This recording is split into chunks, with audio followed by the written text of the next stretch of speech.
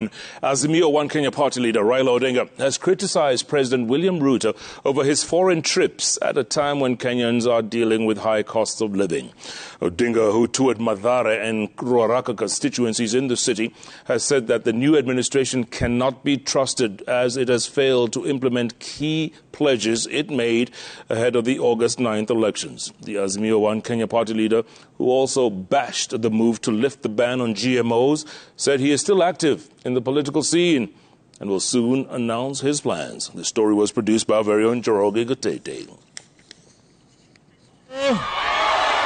On his second day of a Meet the People tour in Nairobi County, Azimio One Kenya party leader Raila Odinga toured Madare and Ruaraka constituencies where he criticized President William Ruto for failing to implement his campaign promises. Ati bei ya unga itatoka mia mbili itarudi sabini. Imerudi chini, imerudi chini. Bei ya mafuta imerudi chini, simepanda juu. Nauli ya matatu imerudi chini, imepanda juu.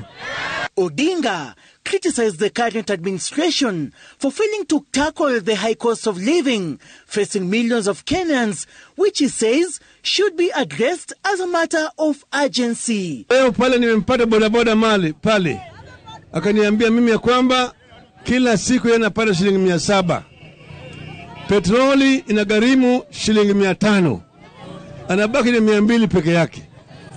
Bei ya unga mfuko moja ni mia mbili na kitu, sio sio?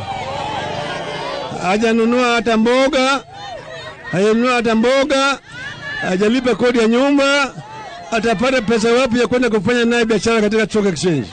While assuring his supporters that he will remain active in the political space, Odinga says he will soon give direction on Azimio One Kenya Coalition Party's next course of action in keeping the new administration in check. Nikaenda chini, nimekaa huko chini, nikakaa, lakini sasa nimeona kama watu yangu wanaumia, ndio nikasema hapana, siwezi kukaa kule chini kwa giza kwa muda hii mrefu zaidi. Nikasema wacha ni- ni- nitembee kidogo, nione hawa watu ana kwa ana, naulize maswali, nijue vile wanahisi. Sawa sawa, sema baba iko, si baba iko The Azimio One Kenya party leader also criticized the decision by the government to approve genetically modified organisms. Odinga, who was accompanied by Madare MP Anthony Oluoch and his Ruaraka counterpart TJ Kajwang, gave 20,000 shillings to border border operators in Madare to fuel their motorbikes.